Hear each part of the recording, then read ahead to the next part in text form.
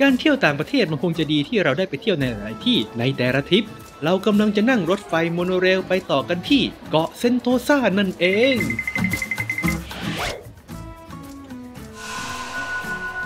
เฮ้ยในที่สุดเราก็ได้เจอกับสิงโตเงือกแล้ว ใครจะรู้ผมมาที่เกาะนี้เพราะหนีฝนในตัวเมือง ดูสิครับ ฟ้าครึ้มเชียว แล้วก็มาซื้อตั๋วที่ตรงนี้ ท่านผู้ชมคงรู้แล้ว ผมมายังซีอควาเรียม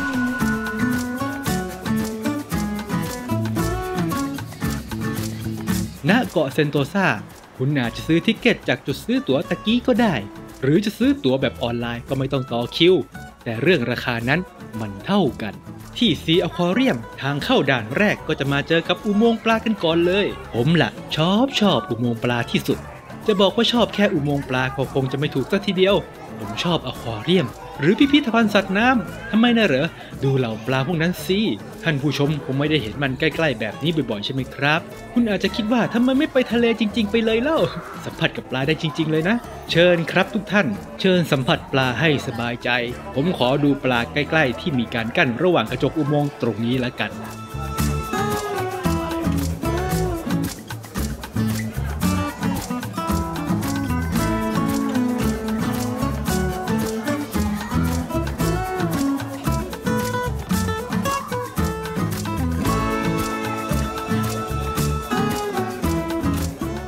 มื่อหลุดจากอุโมงค์ปลาเรามาดูกันต่อครับ และสิ่งที่ผมเจอก็คือ เต่าปลอม และสิ่งต่อมาที่ผมเห็นก็คือ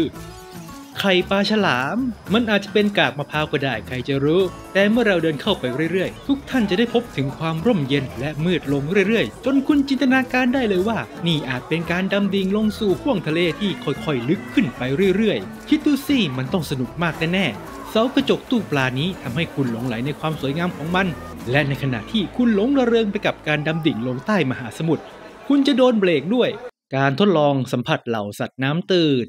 แต่มันสิ กลับครับ กลับมาดื่มด่ำกันต่อกับบรรยากาศชื้นๆมืดๆกัน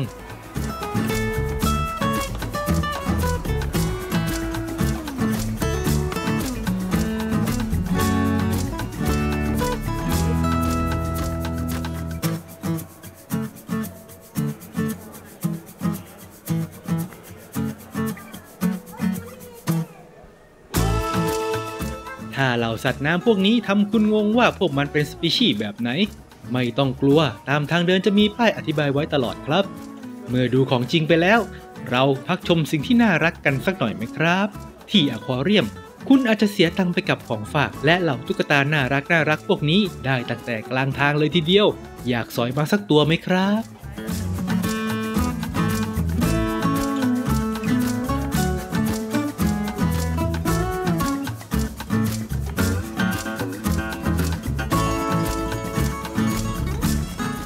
มื่อเราจับจ่ายใช้สอยกันเสร็จแล้ว มาเดินชมสัตว์น้ำกันต่อ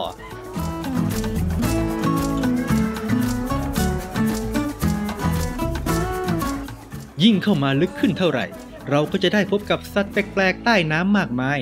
และแมงกระพุนก็เป็นอีกจุดหนึ่งที่ผมดูมันได้นานๆ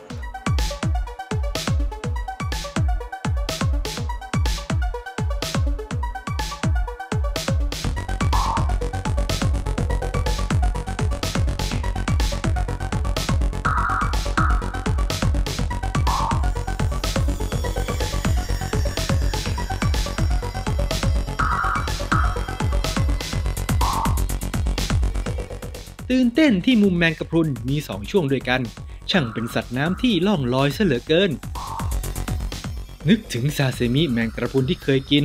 ไม่รู้ว่าแมงกะพรุนพันไหนทานได้บ้างนะครับเนี่ย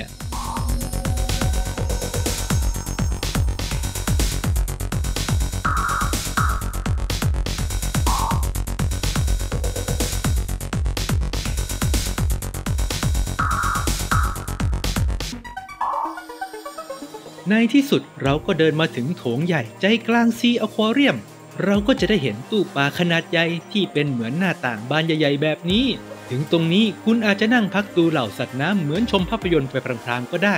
และถ้าคุณอยากมีตู้ปลาแบบนี้ไว้ที่บ้าน เขาก็มีสเปคของตู้ปลานี้บอกไว้ให้เราพิจารณา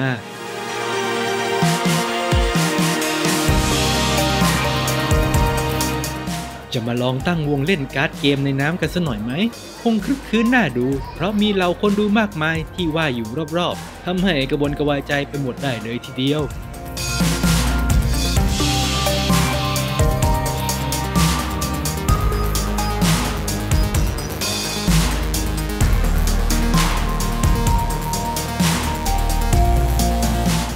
เราพักผ่อนกันเพียงพอแล้ว จึงมาที่จุดต่อไป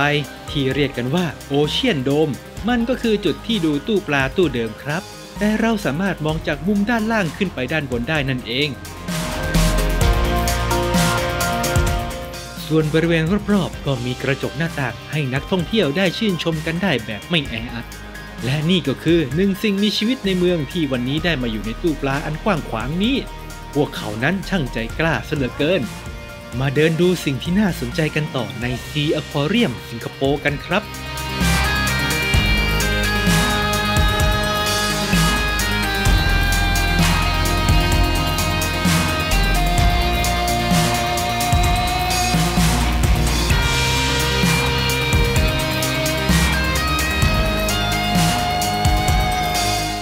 จะว่าไปแอเรียที่นี่ก็ใหญ่ใช้ได้เลยทีเดียว ทีแรกคิดว่าไม่น่าจะคุ้มค่ากับค่าเข้า ที่มันก็แพงอยู่ แต่หลังจากที่ผมได้เดินทัวร์ก็ใหญ่ใช่เล่นนะเนี่ย แม้มันอาจจะดูไม่ใหญ่แบบตะโกน แต่เขาก็ใช้พื้นที่ได้อย่างคุ้มค่า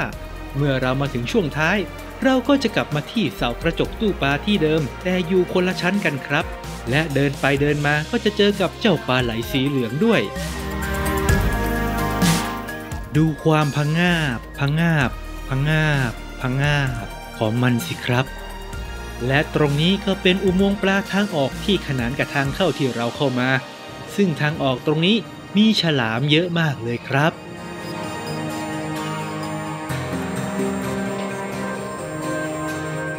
เห็นแบบนี้แล้วคุณยังจะคิดถึงทะเลจริง ๆ สัมผัสกับปลาพวกนี้จริง ๆ กันไหมครับ เชิญตามสบายนะฮะ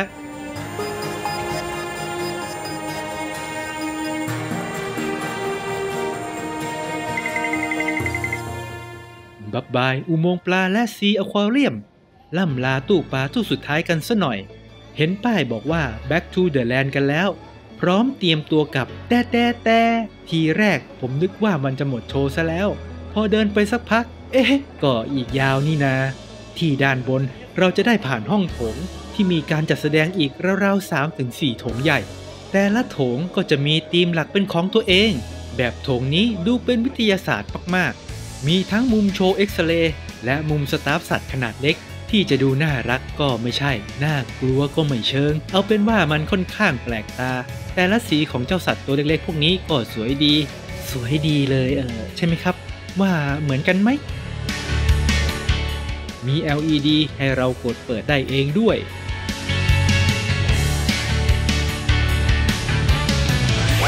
และนี่ก็เป็นอีกหนึ่งโถงหนึ่งทีมกับกลุ่มสัตว์น้ำที่ใช้ชีวิตอยู่ใกล้ปะการังและสาลาย ก็ไม่คิดว่าจะเจอกับปลาวานด้วยนะเนี่ย มีตัวนาคด้วยนะ น่ารักเชียวครับ เสียดายที่ไม่ได้เห็นตัวมันจริง ๆ ชิว